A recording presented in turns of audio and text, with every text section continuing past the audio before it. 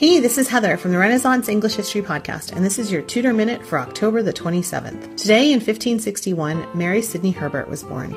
She is remembered for being a literary patron, writer, and translator in her own right, as well as the sister of Sir Philip Sidney, who was one of the most famous poets of the Elizabethan age. She'd been close to Elizabeth I as a younger woman. She was a member of the Privy Chamber. And in 1577, her uncle, Robert Dudley, Elizabeth's soulmate, helped her father to arrange her marriage to their close ally, Henry Herbert, the second Earl of Pembroke. As the Countess of Pembroke, she was responsible for a number of estates. They included Wilton House and Baynard's Castle in the city of London. She turned Wilton House into a, quote, paradise for poets. It was known as the Wilton Circle. It included poets like Spenser, Daniel, Michael Drayton, Ben Jonson, and Sir John Davies. It was an early salon kind of literary group, and John Aubrey wrote that, quote, Wilton House was like a college. There were so many ingenious persons. She was the greatest patroness of wit and learning of any lady in her time. That's your Tudor Minute for today. Remember, you can dive deeper into life in 16th century England through the Renaissance English History Podcast at englandcast.com, where there's actually an episode about Mary Sidney Herbert,